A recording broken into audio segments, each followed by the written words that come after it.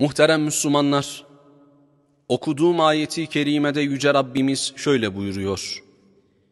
Kendisine ayetlerimizden bir kısmını gösterelim diye kulunu bir gece Mescidi Haram'dan çevresini mübarek kıldığımız Mescid-i Aksa'ya götüren Allah'ın şanı ne yücedir. Hiç şüphesiz Allah hakkıyla işitendir, hakkıyla görendir. Aziz müminler, önümüzdeki pazar gününü pazartesiye bağlayan gece, Miraç gecesini idrak edeceğiz inşallah. Bizleri bu mübarek geceye ulaştıran Cenab-ı Hakk'a sonsuz hamdü sena, ümmeti olmakla şeref bulduğumuz Peygamberimiz Muhammed Mustafa'ya salat ve selam olsun. Miraç gecemiz şimdiden mübarek olsun.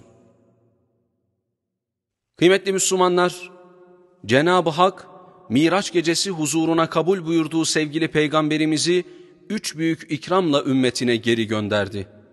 Bunlardan biri, ümmeti Muhammed'den olup Allah'a şirk koşmayanların eninde sonunda muhakkak cennete girecekleridir.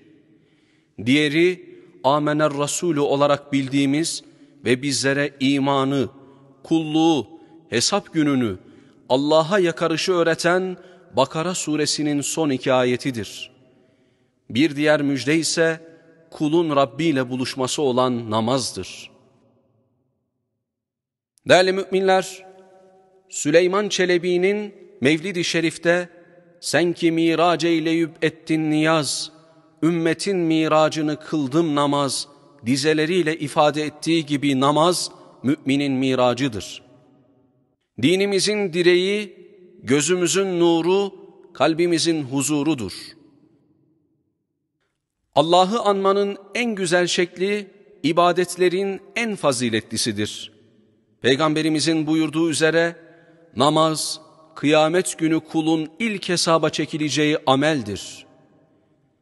Namaz mümini koruyan manevi bir zırhtır. Huşu içinde kılınan namaz, mümini hayasızlıktan ve kötülükten alıkoyar. Namaz, af ve mağfiret vesilesidir.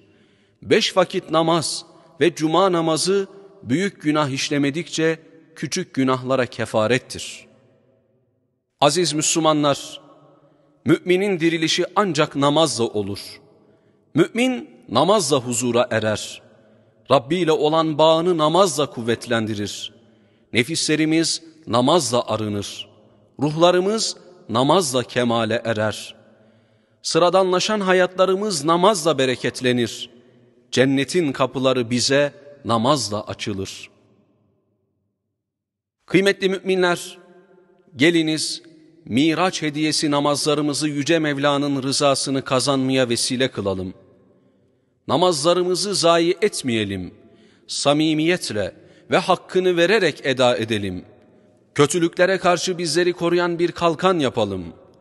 Aile efradımızı, göz aydınlığı çocuklarımızı namazın huzur veren iklimiyle buluşturalım. Hutbemi bir ayeti kerime ile bitiriyorum. Estaizu billah. وَأْمُرْ أَهْلَكَ بِالصَّلَاةِ وَاصْطَبِرْ عَلَيْهَا لَا نَسْأَلُكَ رِزْقًا نَحْنُ نَرْزُقُكَ وَالْعَاقِبَةُ لِلتَّقْوَى Sadakallahun azim. Ailene namazı emret ve kendin de ona devam et. Senden rızık istemiyoruz. Sana da biz rızık veriyoruz. Güzel akibet Allah'a karşı gelmekten sakınanların olacaktır.''